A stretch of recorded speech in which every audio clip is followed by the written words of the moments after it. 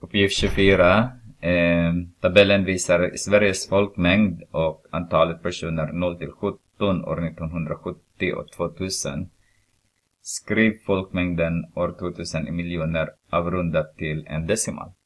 Oj. Så vi har A nu då. 2000. Avrundat till en decimal så har vi 8,9. Alltså, det var 8,88 men det är en decimal. Miljoner. Ska vi ta B. Eh, Beräkna folkmängdens eh, ökning i procent från 1970 till 2000. Så eh, förändringsfaktor är lika med nya värde dividerat med. Ja, 8 882 792 dividerat med det gamla värdet. Mm, 8 081 229 så får vi vad vi får 888 2792 så. Nej. Fel. 888 nej. Det är bara 3 88 ja, nu. Eh, 27 92 Du är däråt med 8, 0, 8. 1 2 2 9 Nej, det var för mycket igen. Det var för mycket igen. Det är två gånger den säger nu. Så får vi 1,099. Nähä, inte den. Där skulle jag ta bort. Där, okej. Okay. 99 99, 0,099, 1,099. Så den har ökat med 9,9 procent, ungefär 10 procent. C. Vad C? Beräkna hur stor andel av folkmängden år 2000 är det.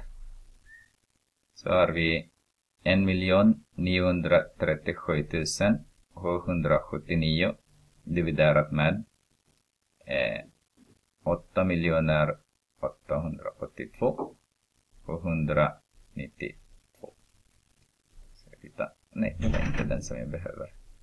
Den behöver jag. Så 19 miljoner. Nej, 1 miljon 937. 37, inte 19 miljoner. 779. Så dividerar med 8 miljoner 882 792 hoppas jag att jag har rätt siffra nu då. Och det är 0,22 ungefär 0,22 och det är 22 procent. Tar vi det med hur många procentenheter minskade andelen invånare mellan... Oho, okej. Okay. Så måste vi först räkna hur många procent då.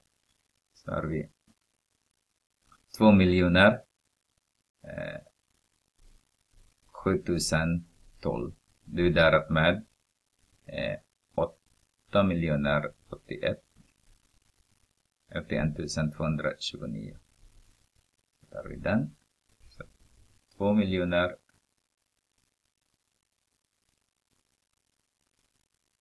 sjutusen. Oj, var är den nu? 12. Hoppas att jag har samma siffra. Ah, no. Nej. 0, 12. Nähä. 0, 12. Varför kan jag inte? dividerat med 8 miljoner 81. Jag tar eh, keyboard just nu. 81 229. Det låter men 0,24 25 eh, ska kolla på. Ni har ju, de har behållit den här 18 så de har behållit de har skrivit, det är en facit 21,8 procent. Då skriver jag här också. Eh, 0,248 ungefär 0,248 är lika med 24,8 procent. Så ungefär där. Okej, okay, så svarar vi på den frågan då. Så har vi 24,8 subtraherar med procent. Subtraherar med 21,8 så ser vi att det är 3 procentenheter. Jag undrar nu om det fortfarande mindre heter, eller den har ökat igen.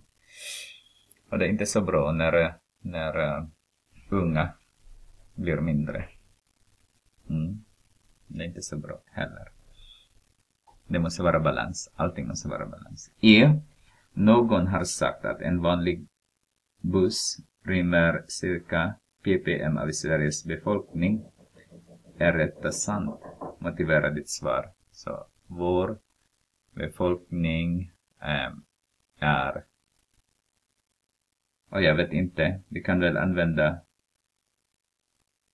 Vi kan väl använda 2000 då. 8. Jag vet inte hur många är vi nu. 10 miljoner. 8. 8, 2. 7, 9, 2. Multiplicera med 5 av en miljon. 10 upphöjt till 6. Så har vi 1, 2, 3, 4, 5, 6 gånger 5. 8,88 88 multiplicerar med 5. Och det är ungefär 9. Det är ungefär 5. 45. Jag vet inte hur många sits finns en buss. Eller 40 eller 50. Om vi är 10 miljoner. 10 miljoner då. 5, 10. Och det måste vara en sju. Förlåt.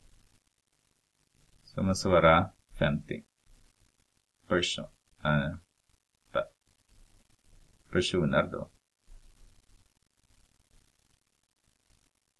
Och det beror på, jag vet inte hur många, vad säger facitet? Ja, 44 personer. Men jag fick 45. Ja. Ser Sveriges befolkning cirka 44. Men jag vet inte hur, må, hur, hur många sits. Är det 50 för en buss? Det vet inte jag. Om det är 50, ja det är svaret ja. Om det är 40 så svaret är nej. Jag tror det går.